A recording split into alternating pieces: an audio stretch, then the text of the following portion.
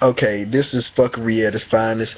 Um, this Memphis rapper named Mr. Money is on trial right now. Could be facing 15 years to life for trafficking young teenage girls. One, I believe the youngest one, could, well, one of the youngest one was 14, and he met her at Kmart or Walmart, one of them, and you know he just told her she could make money. Now this dude is a rapper, or whatever, and you know he making videos and stuff, and also he you know, he was doing endorsements and stuff, barbershops or whatever. He was doing commercials for him, so he had to have a little big name for himself.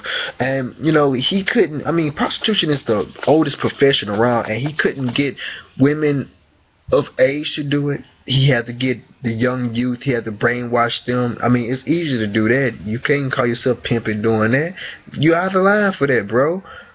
I mean, well, if this was your your daughter or something, how would you feel that your 14 year old daughter is, is selling her pussy for some man? That, that that's out of line. That's really out of line, man. Um, he had one of the girls in his video, and you know, this is what's stupid about criminals nowadays, they have a feeling that they have to broadcast their information to the whole world. He has videos on YouTube of him saying, yeah, I pimp these young hoes, these young sluts. I mean, you are out of line, and you're stupid at that. Why would you do that shit on YouTube for the whole world to see? Just like the girl that robbed the bank was like, yeah, just robbed the bank. Stupid. Stupidity is, is killing our, our, our civilization, really. Slowly you know, very slowly. It's killing our civilization. Um, that's all I wanted to say about that, man. I'm not gonna waste any more of your time, man.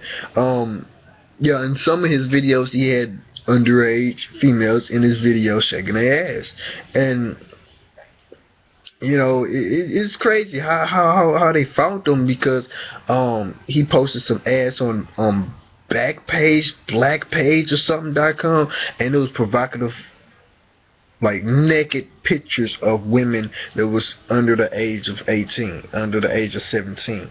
And it, I mean, it, it's crazy though, man, that you know, somebody stoops so low just to have money. Money is the root of all evil, and we're seeing that now. And I mean, I'm just I'm just leave that alone right now. I want to know your thoughts about this in the comments area below. And with that being said and done, this is Gamer 74360 signing out.